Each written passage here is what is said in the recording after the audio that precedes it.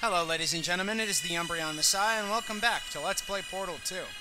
Now, before we move on, I just wanted to uh, explain a little bit of the background of Portal and Portal 2 for, oh my, those of us who haven't played the game, and those of you who are a little confused as to what's going on here.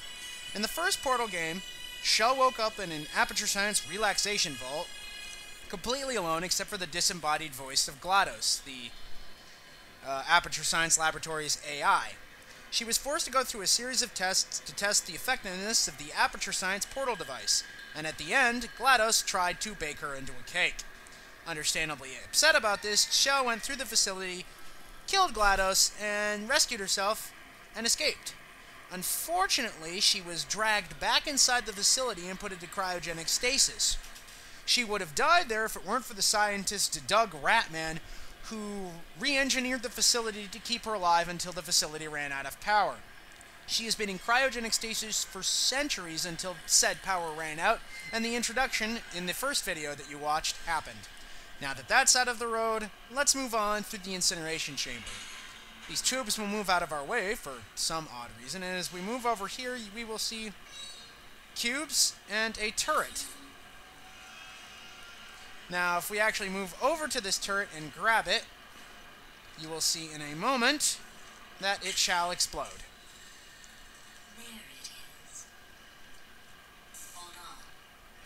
And over here we have the Aperture Science dual portal device that GLaDOS will help us uh, uh, grab.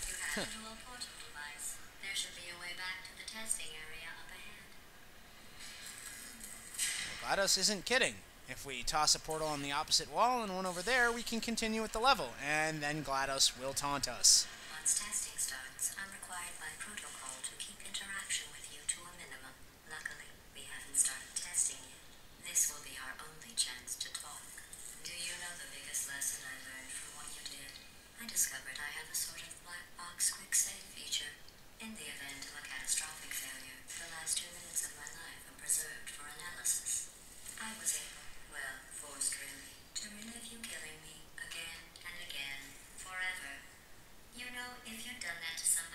They might devote their existence to exacting revenge. Luckily, I'm a bigger person than that. I'm happy to put this all behind us and get back to work. After all, we've got a lot to do, and only 60 more years to do it. More or less. I don't have the actuarial tables in front of me. But the important thing is you're back with me. And now I'm on to all your little tricks. So there's nothing to stop us from testing for the rest of your life. After that, who knows? I might take up a hobby. Reanimating the dead, maybe. She's not even angry. Alright, and as we go down here, we will get the very first test chamber designed by GLaDOS and the official start of the second chapter of the game. The second chapter is named, quite appropriately, The Cold Boot.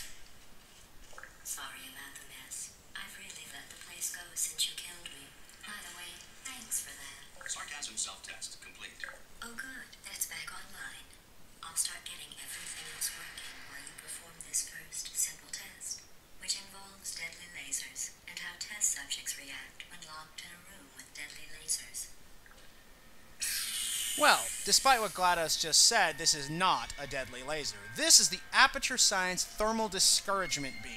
And as you will see, it can't actually kill us.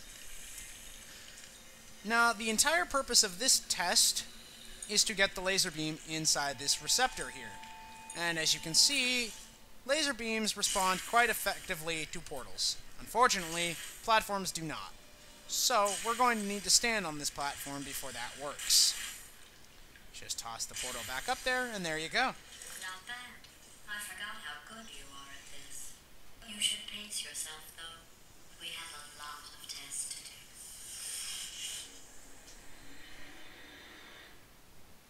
She's not kidding.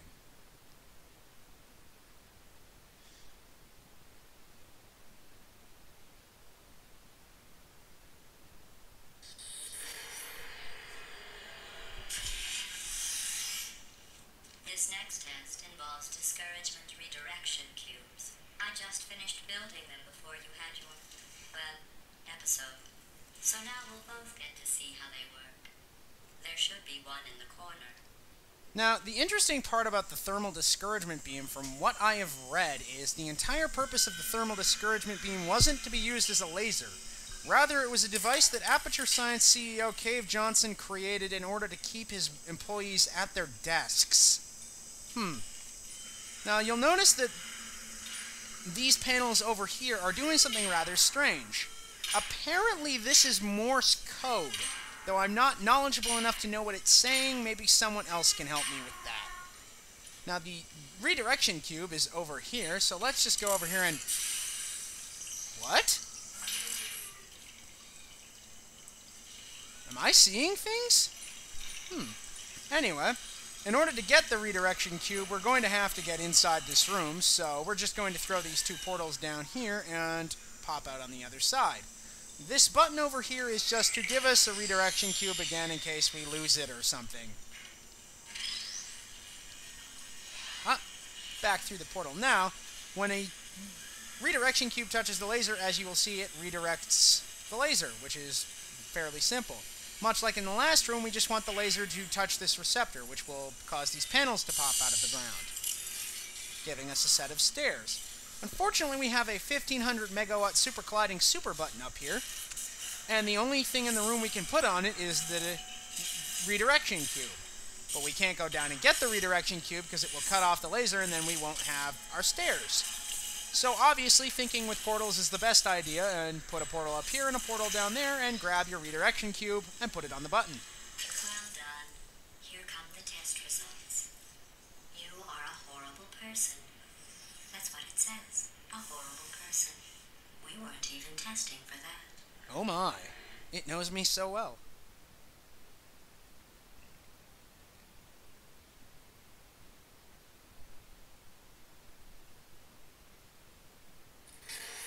Don't let that horrible person thing discourage you. It's just a data point. If it makes you feel any better, science has now validated your mother's decision to abandon you on a doorstep. Ouch, that was cold. Anyway, as we move into this next test chamber, you'll see it assemble itself. GLaDOS isn't kidding, we are solving these things faster than she can build the test rooms. That or she's just being lazy.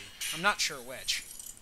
Anyway, if we move over into this corner, you'll see a room that she hasn't quite prepared. It's another secret Doug Rattmann chamber with some of his art. Sucker's Luck, Exile. Too many variables. Now, if you go into the corner over here, you'll start hearing the secret song for Portal 2. This is Exile Vilify by The National, and this is the only place in the game you can hear it.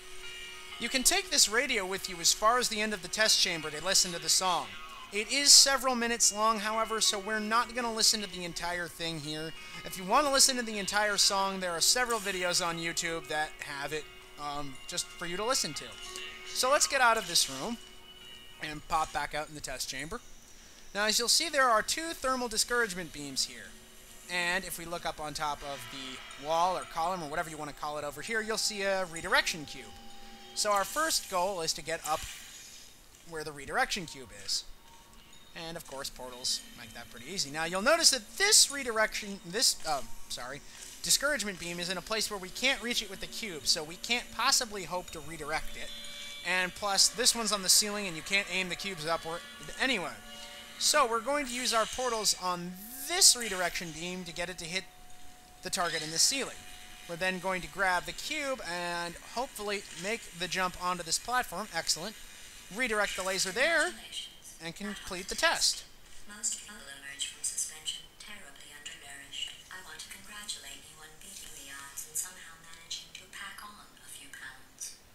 That's not a very nice thing to say.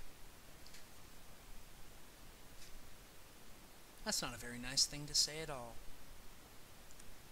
Though I suppose I can't really blame her.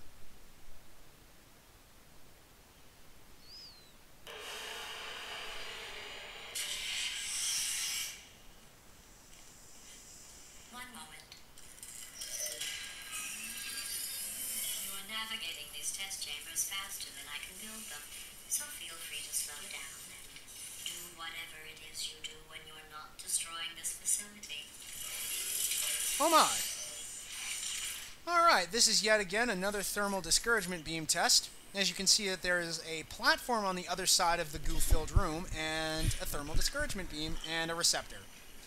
Now, the way that this receptor is set up suggests that the movement of the platform, which will obviously move considering how it's constructed, is tied to the laser. So let's put a portal over there and a portal over here, and yes, indeed. Now, obviously, there seems to be a cube on the other side there, and there is a button in this room, so we want to get over there. So we're going to stop the platform as soon as it reaches this area, and use our portal to, well, get in. Now, obviously, this is going to be just a slight bit tricky, but not by much. Push the button to grab our cube, and put the cube on the platform. Now, we still have a portal that's aiming at that receptor, so let's just toss our other portal over there and ride the platform over. This teaches you a neat thing, uh, something you probably probably already knew. I'm pretty sure I showed it at least once, but regular cubes will just block lasers. are listening to me. But for the record, you don't have to go that slowly. Oh, she just never lets up. That's almost cute in a way. In a horrifying computer trying to murder us sort of way.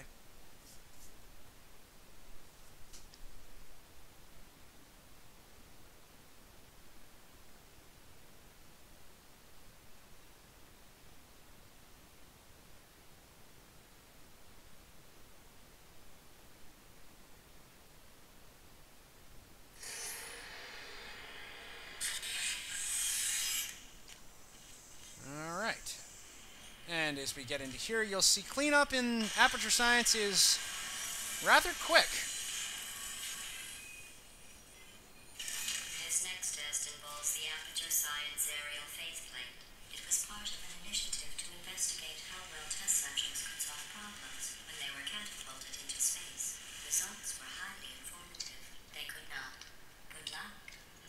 Alright, the first thing you'll actually notice about this room, besides what GLaDOS tells you, is that there is a stark contrast between one half of the room and the other.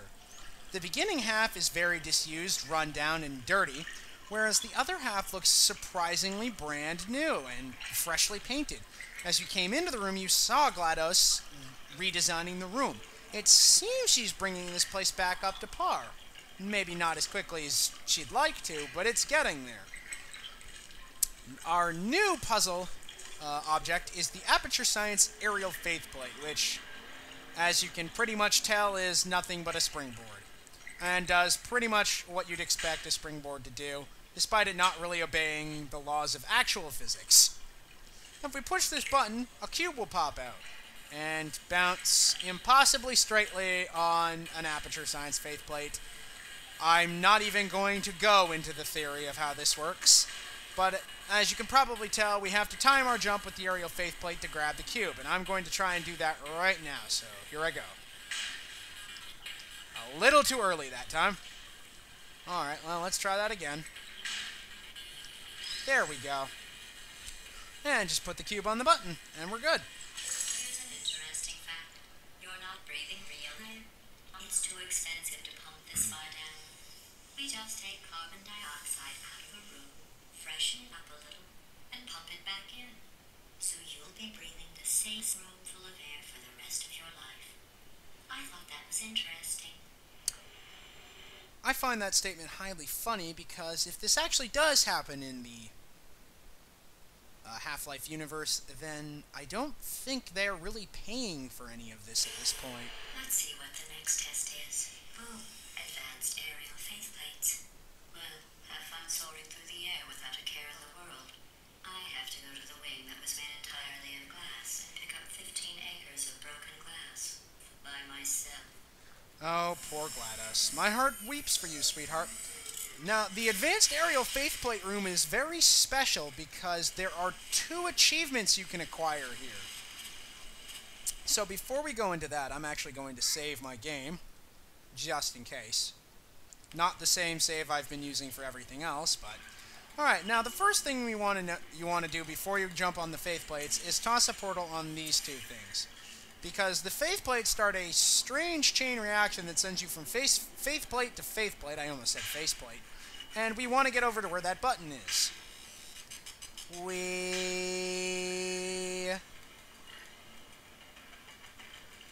bounce. There we go. Now, as you can see, this door is connected to that button over there. So we have to get something to put on that button. And to get the thing we need to put on that button, we need to push this button over here. Now, how we get the achievement is very much tied to this button because the first thing that's going to come out of that chute is not a cube. Now, we have to do this just right because there are several things we have to catch that come out of this cube, this tube, and well, to be perfectly frank, if you screw it up, you kind of have to start over. So let's see if that portal placement works. I'm not sure. It should.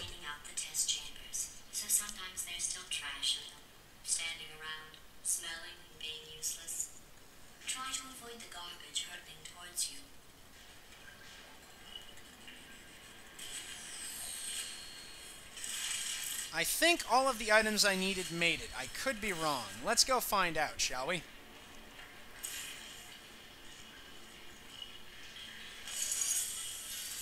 Well, no, they didn't. And I seem to have messed this up just a tad. But on the bright side, we did get one of the items I needed. We're just going to jump back onto this faith plate. Now, this radio is required to get the achievement known as Final Transmission. There is a secret Doug Rattmann room in this test chamber that you can only barely see from the other side of it. Oh, I was didn't expect that to happen. In order to get it, we have to put a portal there and put a portal on our first jump platform and take the radio with us. Yeehaw!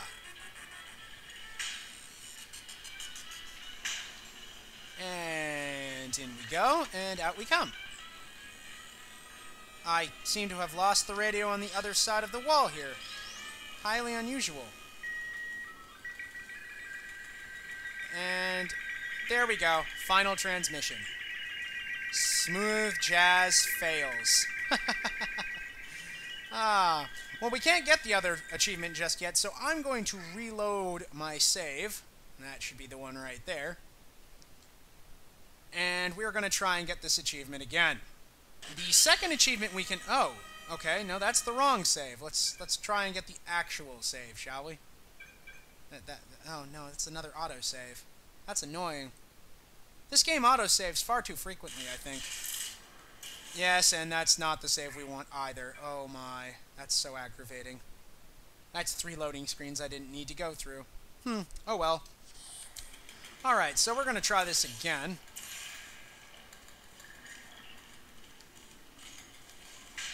Let's see here.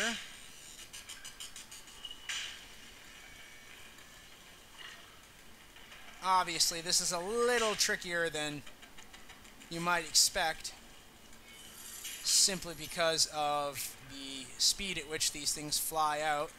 So we're going to try this again. We're going to put it over there and give ourselves a uh, little save here, just in case, so we don't need to work this too hard. Alright. Push the button. And we are aiming for the turret this time. Now, hopefully it should hit us. Got it. Okay, now the trick here is to get the achievement I'm aiming for right now is called Turret Dactyl. We have to drop the turret on an aerial faith plate and watch it go zoom. Nothing too difficult. Um, I don't need to do it uh, uh, the way I was about to do it, mind you. I was about to copy the achievement hunters there and, and give up my life for science. And there you go, Turret Dactyl. Easy peasy. Now, the actual thing we want to do here is get a cube from this tube to land on the button over there. So let's get back to the other side of the room.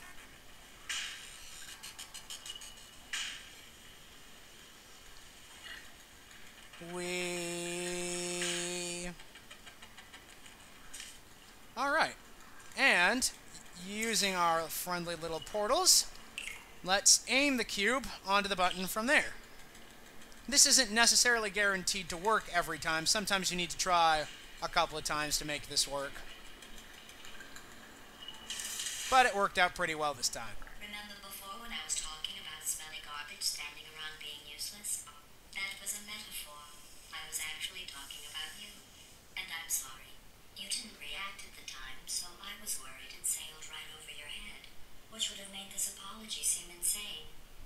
That's why I had to call you garbage a second time just now. Oh my. That wasn't very nice of her.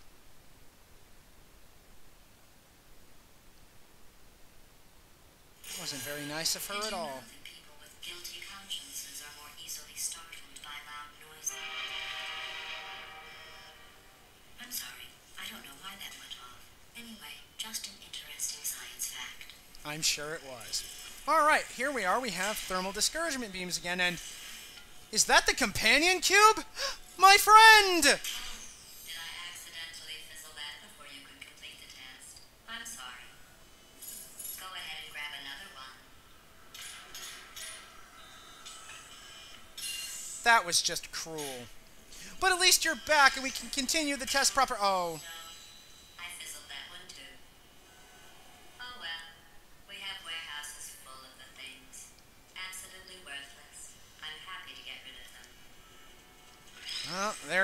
Folks. GLaDOS continues to be cruel. Anyway, as you can see, this receptor is, well, sort of see that it is. I'm just seeing things all day. It's sort of tied to this platform. So if we cut the laser off, this platform will come down and we can get on it. In order for it to go back up again, we have to get the laser back in the receptor. So let's make our companion cube move. This brings us back up here where we get to learn some more mass and velocity puzzles. Yay! Now, you can't really see it, but there is a super colliding super button up on this platform here, so we are going to need our companion cube to solve this puzzle. I'm going to grab it and put it over there and hop right on in. Alright, putting the companion cube on the button here will cause this platform to come out, so we just need to jump. Oh my! Jump through like that. Huh, what's going on here?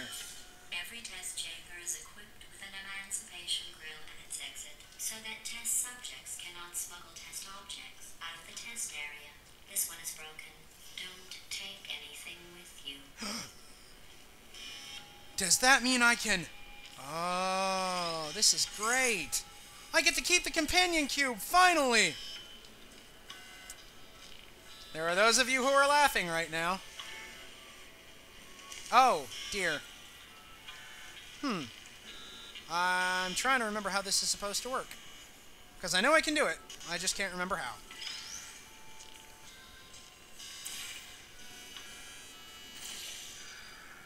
Oh, yes, I remember now. One second while I fix this problem.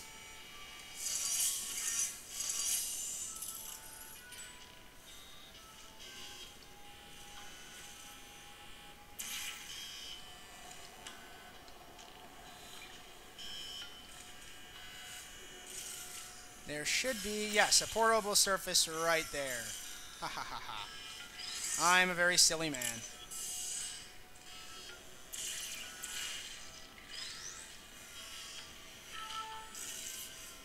Did it just say ow? Well, it doesn't matter because I get to take you with me now. Hooray! Oh, I think that one was about to say, I love you. They are sentient, of course. We just have a lot of them. oh God. Well, for those of you who didn't know, that's actually another achievement. I can't remember its name, but essentially you just have to break the rules of the test chamber to get it.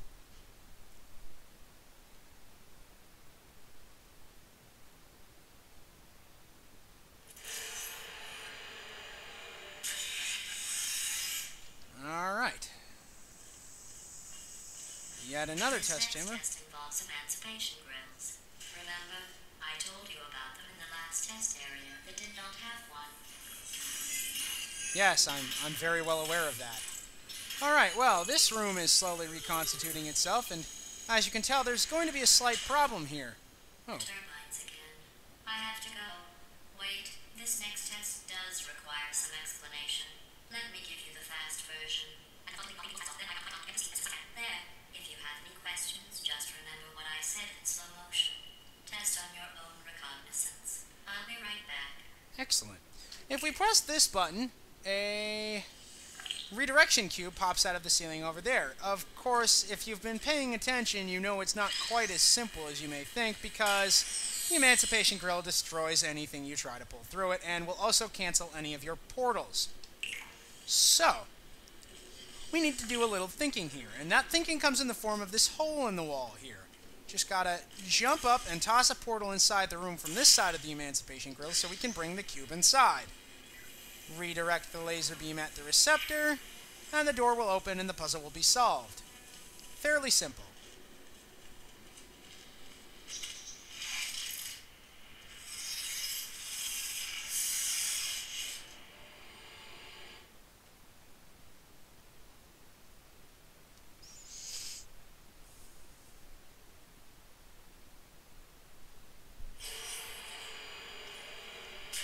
And that concludes the second chapter. We now move on to chapter 3, The Return, but unfortunately that's the end of this video, so I'll see you next time on Let's Play Portal 2 when we continue into the third chapter. I'm the Umbreon Messiah. Have fun, ladies and gentlemen.